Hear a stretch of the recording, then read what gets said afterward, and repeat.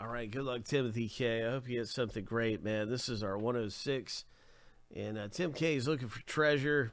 We're gonna find some, man. It is 106 happening right now. Hope.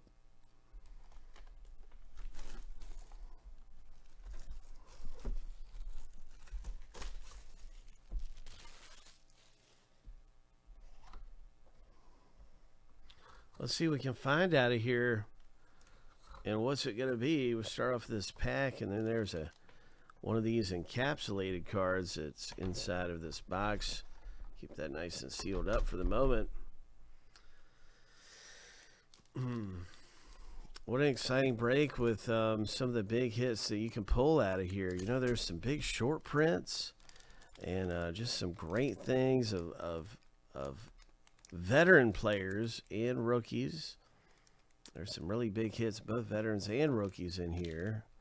I can see our first card.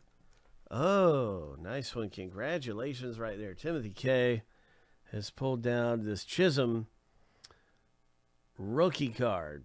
And so he's one of the premier rookies in baseball, along with Dylan Carlson and, and Hayes. Some of the best rookies of the year. Oh, speaking of Hayes, ho. So another one of the top rookie cards comes out in our 106 box. Nice hit. All right, we got some color. And it's another rookie. So so this ends up being an all rookie box. All rookie box. Mm-mm-mm. Who do you think this is going to be? Is it Jo Adell? Wouldn't that be great if it's Jo Adell? Let's see what we got. Oh, it's Patino. We had an autograph his earlier. And I'm um, starting to think about some of the rookies we have not seen. And we have not seen Jo Adell today yet. 41 of 150. Nice parallel. Congratulations. Very, very nice. We've seen his autograph and we we have now we pull one of his parallels. So, um, a lot of the biggest rookies we have pulled, but we've not seen Jo Adell.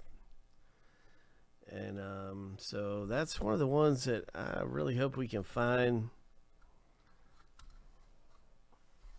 And so I'm really excited. There could be a legend in here. There could be a veteran player. Let's find out. Let's see what we got.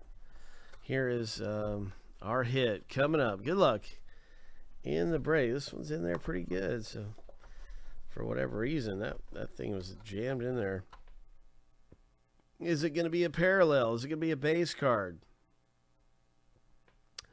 Is it going to be a one of one? Oh, it's a White Sox.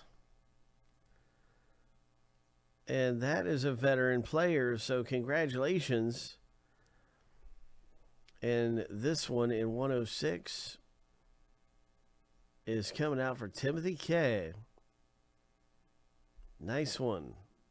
Sealed up in the the special case right here.